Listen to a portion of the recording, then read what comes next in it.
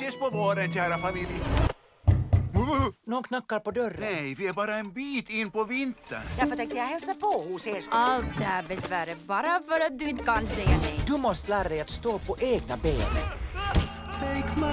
Men jag är inte längre ett barn, pappa. Jag är ett vuxet Mumintroll. Kom igen min djärva upptäckare.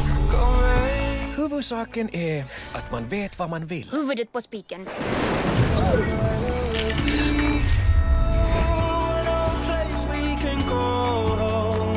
Måste jag nog skynda mig. Och jag finns alltid här om du behöver mig.